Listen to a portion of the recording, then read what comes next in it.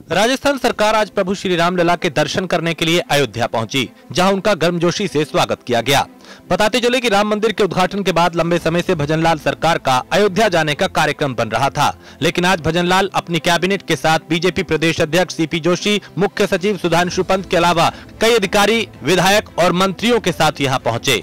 रामलला के दर्शन करने गए भजनलाल कैबिनेट के सत्तावन, बीजेपी विधायक, चार निर्दलीय विधायक, आठ सांसद, प्रदेश भाजपा के 16 पदाधिकारी और 21 पुलिस व प्रशासनिक अधिकारी शामिल थे।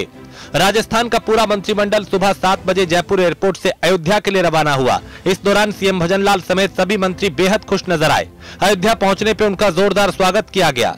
जय श्री राम के नारे लगे। इससे पहले जयपुर एयरपोर्ट पे बीजेपी के वरिष्ठ नेता ओंकार सिंह लखावत ने कहा कि वो कार सेवा में भी अयोध्या गए थे। आज राम मंदिर बन गया है और हम रामलला के दर्शन करने जा रहे हैं। ये गर्व का विषय है। वहीं बता दें कि राजस्थान के मुख्यमंत्री भजनलाल शर्मा जब अयोध्या की पावन धरती पर पहुँचे तो उन्होंने कहा, मुझे आज यहाँ अयोध्या शहर पहुँच के खुशी हो रही है। मैं अभिभूत महसूस कर रहा हूँ।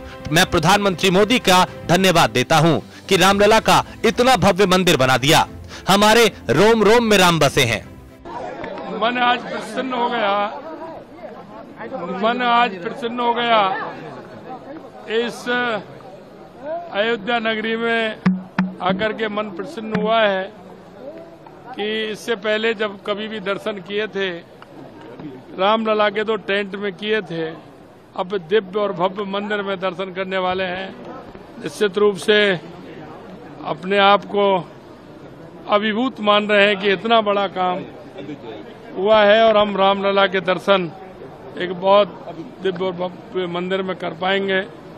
मैं देश के यशस्वी प्रधानमंत्री नरेंद्र मोदी जी को बहुत बहुत धन्यवाद और साधुवाद देना चाहता हूँ कि उन्होंने इस देश नहीं, दुनिया के सबसे बड़े इस सांस्कृतिक महत्व वाले केंद्र को इतना विशाल रामलला का मंदिर बन के तैयार हुआ है। यही नहीं राम हमारे रोम रोम में बसते हैं। राम हमारे आस्था के राजस्थान में कितना असर पड़ेगा राम मंदिर जैसे चीज़ों का या धारा तीन सत्तर का? प्रधानमंत्री जो पड़ेगा किस पर असर पड़ेगा? लोकसभा चुनाव पे कितना असर पड़ेगा? पूरी राम की महिमा है। दुनिया में पूरी महिमा है ही राम की है। असर क्या पड़ेगा? करने ही वाले वो है। सब कुछ करेंगे अच्छा करेंगे।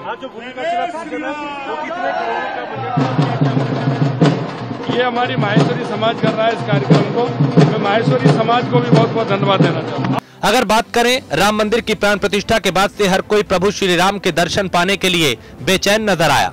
और ऐसे में यूपी से भी पूरी कैबिनेट के साथ लोग प्रभु श्री राम के दर्शन करने पहुँचे थे। केजरीवाल भी अपने पूरे परिवार के साथ दर्शन कर चुके हैं। अब राजस्थान के सीएम अपनी कैबिनेट के साथ प्रभु के दर पहुँचे।